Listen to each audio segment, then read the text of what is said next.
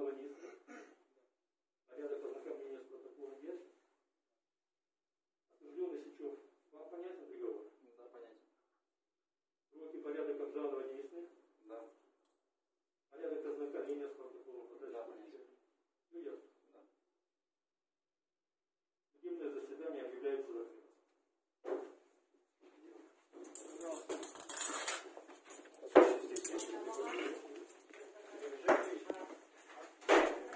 Валерий Валерьевич, прокомментируй, пожалуйста, приговор. Фальсификация незаконна. Ну и видно, что